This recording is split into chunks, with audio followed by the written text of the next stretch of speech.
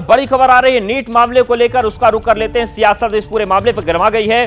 RJD, Congress समेत विपक्ष ने नीट परीक्षा को रद्द करने की मांग की है। विपक्ष एक सुर में केंद्र सरकार को घेर रहा है। तो एक तरफ़ जहाँ पर ईओ, यू की जाँच चल रही है, जाँच एजेंसियाँ जो काम कर रही हैं, बिहार के जो एडीजी हैं, नैयर हसनैन, वो दिल्ली पहुँच चुके हैं, लेकिन सियासत गर्मा चुकी है और विपक्ष रद्द करने की मांग कर रहा है।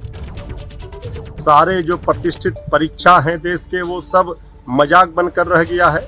अभी नेट यूजीसी परीक्षा को रद्द किया गया है और नीट परीक्षा पर बवाल मचा हुआ है। नीट परीक्षा पर जितने गंभीर सवाल उठ रहे हैं, माननीय सर्वोच्च न्यायालय ने भी सवाल उठाए हैं और देश के माननीय शिक्षा मंत्री जी इस पर सफ़ाई दे रहे हैं और बचाव कर रहे हैं। ये गंभीर मामला है। देश के छात्रों के भविष्य के साथ खिलवाड़ नहीं होना चाहिए और नीट परीक्षा में जो धांधली हुई है जो मुख्य आरोपी हैं, उन्हें गिरफ़्तार किया जाना चाहिए। स्वाभाविक है, छात्रों के भविष्य के साथ जो खिलवाड़ करने की जो कोशिश होती है, और उसका दुष्परिणाम प्रतिभावान छात्रों को भोगना पड़ता है।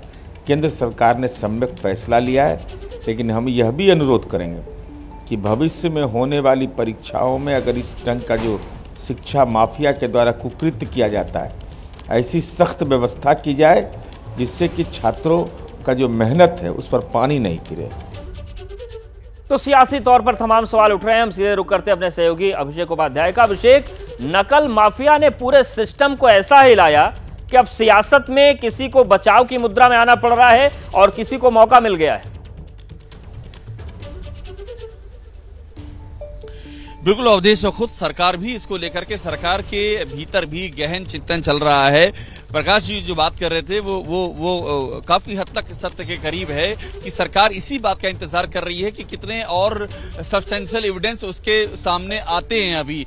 और इसीलिए अभी तक कैंसिलेशन का फैसला नहीं लिया गया है। जो बिहार के अधिकारी यहाँ पर आए हुए हैं, उनके पास क्या सबूत है, इसको देखा जाएगा। गोधरा से जो सबूत आए हैं सामने, वो भी, उस पर भी इन्वेस्टिगेशन चल रहा है। और नेशनल मेडिकल कमीशन जो है, उसके पास जो शिकायतें आई हैं, उन पर भी सरकार का पूरा ध्यान बना हुआ है। तो चिंता अपने सहयोगी दलों से भी है विपक्ष आक्रमण कर रहा है संसद का सत्र शुरू होने वाला है और खुद जो एविडेंस सामने आ रहे हैं जिस ग्राउंड पर यूजीसी की परीक्षा रद्द की गई नेट की परीक्षा रद्द की गई है। कुछ वैसा ही ग्राउंड बनता हुआ यहाँ पर दिख रहा है। तो सारे सबूतों का, का अध्ययन किया जा रहा है और जैसे ही क्लिंचिंग एविडेंस लगेंगे इसका भी संभावना इसी बात की कि अगला कदम इसको रद्द करने का ही हो सकता है। जैसे ही घड़ी का काटा दोपहर ढाई पे आए बबीता जी का दिल सास बहू साजिश के लिए मचल जाए। और ये है इनकी बहू। पूरे दिन ऑफ़िस की टेंशन हो जाए गॉन। जब ये करें अपना फेवरेट शो, फ्री टाइम पे ऑन। इनकी तरह आप भी देखें अपना फेवरेट शो अपने टाइम पर। और डाउनलोड कीजिए एबीपी लाइव ऐप अपने स्मार्ट टीवी पर।